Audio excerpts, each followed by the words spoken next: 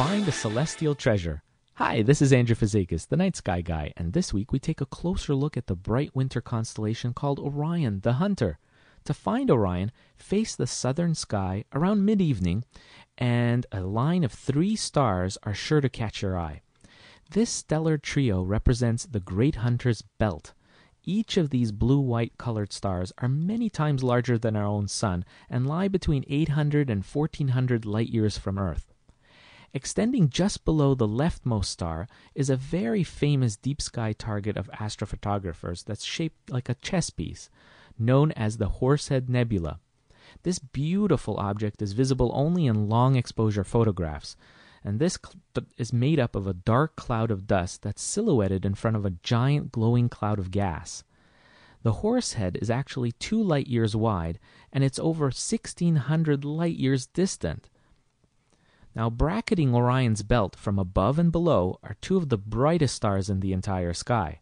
First off, Rigel is a blue, young, very young white giant star that sits over 700 light years distant from Earth and burns about 60,000 times brighter than our own sun. Meanwhile, orange colored Betelgeuse at the other end of Orion is one of the largest stars known, lying 430 light years away. Finally, moving back towards the Orion's line of three stars, dangling just below the hunter's belt, is his hanging sword. If you look carefully, you'll notice that the middle star looks a bit fuzzy with the unaided eye.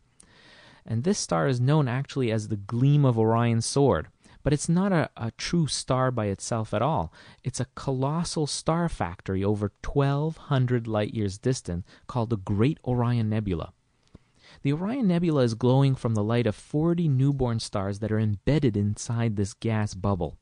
Many of these are beginning to form disks of material that swirl around the stars, which many astronomers think one day may form their own solar systems, millions of years from now. For more stargazing tips, check out my website, thenightskyguy.com.